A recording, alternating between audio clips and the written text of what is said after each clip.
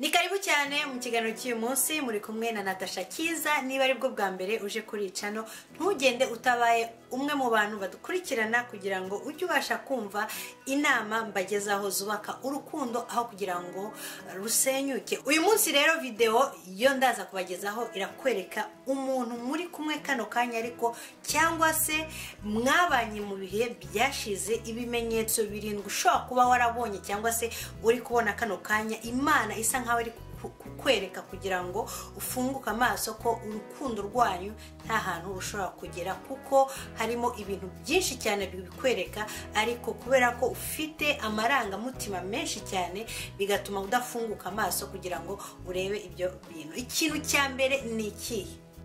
Iyo uri mu rukundo n'umuntu ikintu cya mbere cyihutirwa gukorwa ni uko ushaka umuntu w'umuvandimwe cyangwa se inshuti yawe magara ukamutekerereza uti nagiye mu rukundo. Hari umuntu ndi kubona mu by'ukuri uri kunyubaka cyane.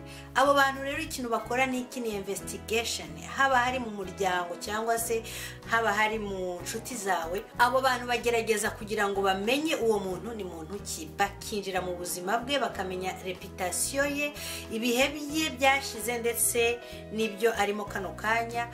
Mu by'ukuri ni bamwe mu bantu navuga yuko bagufasha gufata umwanzuro uvuga uti ese uyu muntu nkomezanye nawe cyangwa se ibintu bimeze gute? So ni byiza cyane iyo rero uri mu gukundana n'abantu kuba wagira undi muntu uguha opiniyo ariko wowe wenyine ntubyihererane.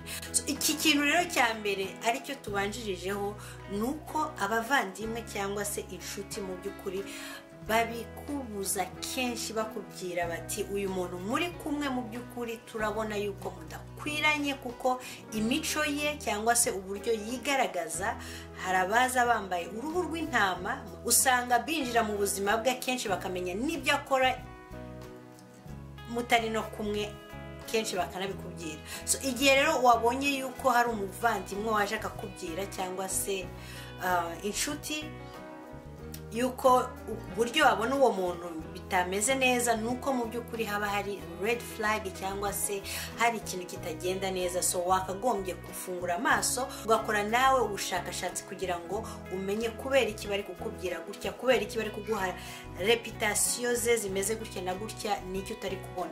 Ikintu cya kabiri hano ni ikihe? Uyu muntu ni we umwe wa mbere utangira ku va muri uwo mubano wanyu. Ashakisha uburyo bwose bushoboka ni we usa nk'aho ari intandaro yo gutuma urukundo rwanyu rusenyuka ako kanya ukabona ibintu byose bisigaye biri drama muri urwo rukundo rwanyu. Ibintu byose abigira intambara.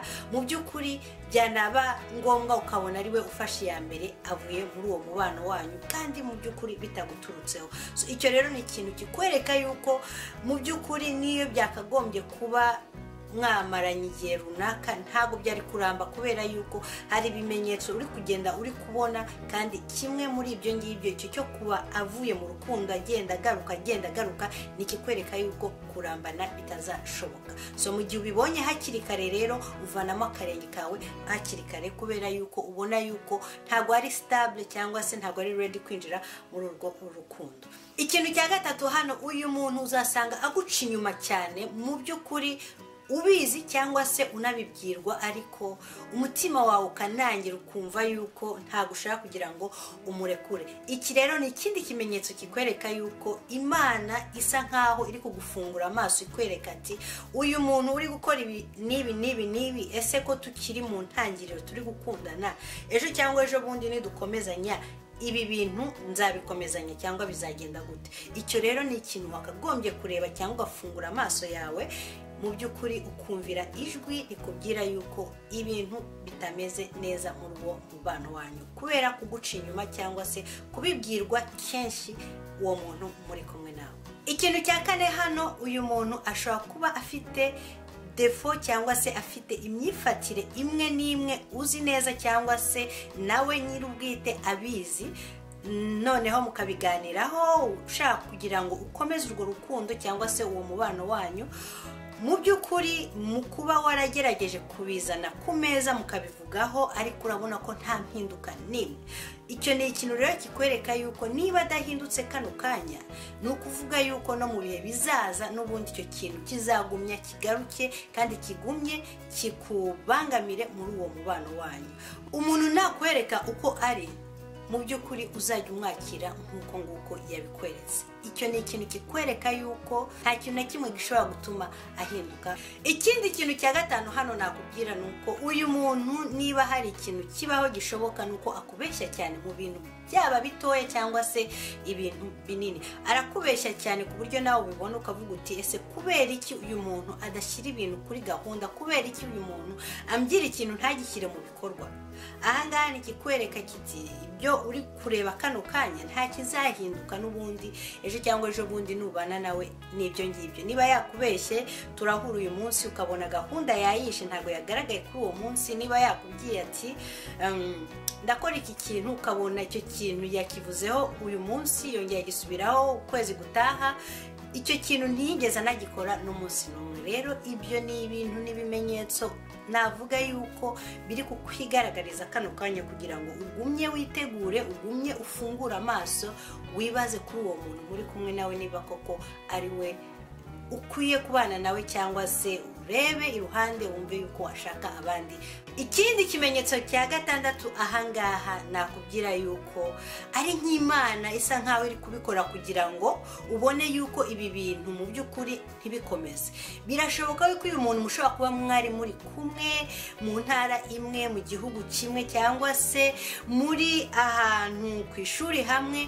Noneho urwo rukundo rwanyu wowe waragiye mu rukundo warashize noneho ukaza kubona ibintu bibaye bitya uwo muntu muratandukanye. Uko gutandukana kwanyu nakubwira yuko ari nk'amahirwe y'imana yabaye kugira ngo ufunguke amaso kugira ngo urebe fitire yawe urebe heza hawe hari kuza aho kugira ngo uwo muntu azambye ubuzima bwawe. Burya hari igihe imana ikora ibintu ukibaza uti ese mana kuki ibi bintu bibayeho? Kuki uyu muntu koko dutandukanye? Kubera icyo agiye kure yanjye.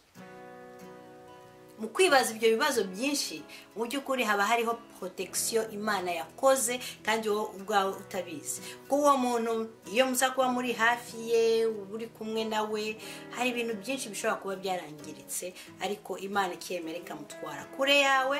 So icyo na cyo ni ikintu nakubwira yuko niba cyabayeho ukabona uri mu gihugu kimwe undi nawe ari mu kindi mu by'ukuri warabonaga ko hari amananiza muri ibi bintu byose ndi kuvuga hari ibintu wagendaga ubona ariko noneho ukabona yuko kano kanya wisanze ahantu kure y'aho uwo mukunzi wawe ari. So navuga yuko ari ikimenyetso cyiza cyane cyakwereka yuko mu by'ukuri ugomba kwiyitaho kano kanya cyangwa se ukaba watekereza cyane ku buzima bwawe.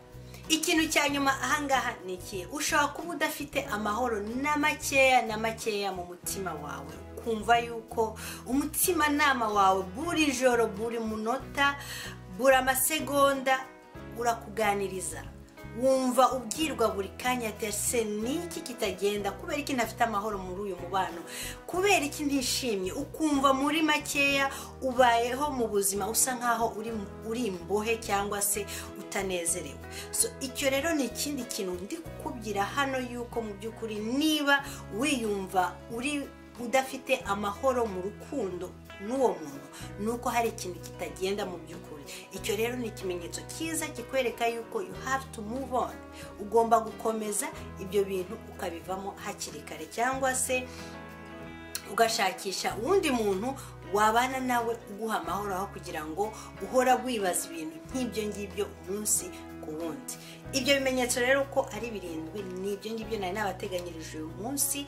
Nakubwira ko bisa nkaho ari kugufungura amaso cyangwa se kureba kure aho kugira ngo ube muri urwo rukundo ejo cyangwa ejo bundi ruze guhinduka togisike usange yuko ubibayemo kandi urababaye cyane kandi nta munezero n'umwe ubifitemo kandi wari wabonye buri kimenyetso kimwe ku kindi kitagenda neza uwo mubano wanyu. Ariko ukagumya ukabigundira ukavuga uti bizaza bizaza bizaza bizaza rero bigafata imyaka itatu imyaka ibiri cyangwa se umwaka umwe. So ibi bintu rero uko ari birindwi byose mu by'ukuri si ukuvuga yuko nta muntu ubaho adafite amakosa ariko wabonye ibyo bintu nk'uko ari birindwi ugafatamo nka bitatu cyangwa bine bitanu. Mu by'ukuri ni isaha yawe yo gutekereza ku buzima bwawe ndetse n'ubuzima bw'urukundo aho kugira ngo ejo cyangwa ejo bundi wivuga uvuga uti nta muntu nakongera guha urukundo nta wundi muntu nakongera gukunda kubera yuko ubuzima naciyemo bwashobosheje umutima cyane. Ya ni ibyo ngibyo rero niba nawe hari ibindi bimenyetso uzi bishobora kuba byarabaye nka red flag cyangwa se byaraku byarakwigaragaje mu rukundo ukabona yuko kabisa ntabwo byari gushoboka ko uguma muri urwo rukundo.